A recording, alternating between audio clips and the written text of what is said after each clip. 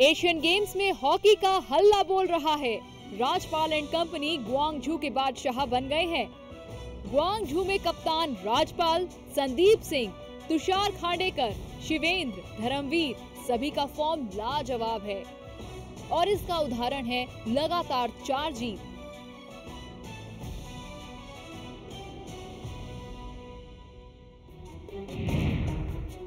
Hong Kong को सात शून्य से धोया।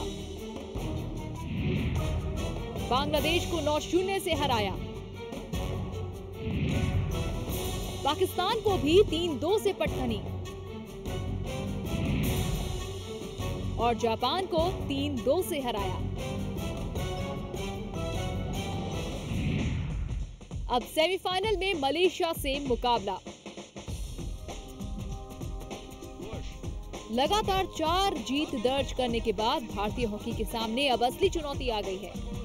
इस चुनौती से अगर टीम इंडिया पार पा गई तो उन्नीस सौ अठानवे का इतिहास दोहरा दिया जाएगा क्योंकि आखिरी बार एशियन गेम्स का गोल्ड उन्नीस में ही आया था।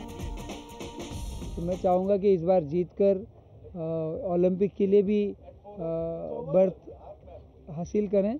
और आ, 98 में जीते थे मेरे कप्तानी में और मैं चाहूँगा कि राजपाल सिंह इस बार उस विक्ट्री को है ना रिकॉर्ड में ना रखें और अन्य इस इस एशियन गेम्स में उसको रिकॉर्ड को ब्रेक करे और गोल्ड मेडल हमारे देश में जीत कर।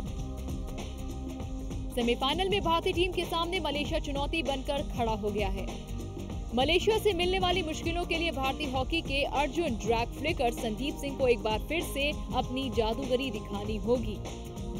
मलेशिया का सेमीफाइनल तक का सफ़र शानदार रहा।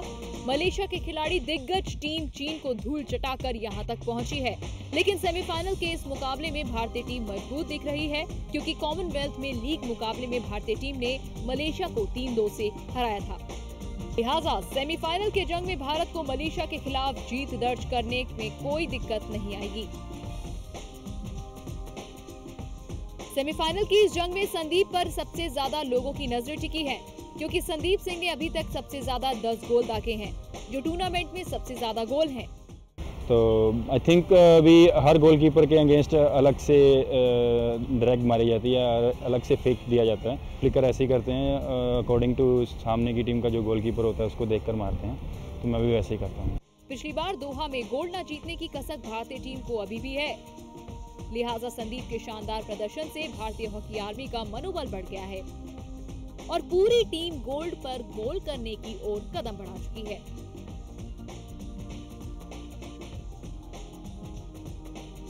एशियन गेम्स में हॉकी के इस महासंग्राम में हर टीम जीतने की पुरजोर कोशिश कर रही है, क्योंकि गुआंगझू में जीत का मतलब लंदन ओलंपिक में सीधे एंट्री। विवेक मिश्रा के साथ स्पोर्ट्स डेस्क, इंडिया न्यूज़।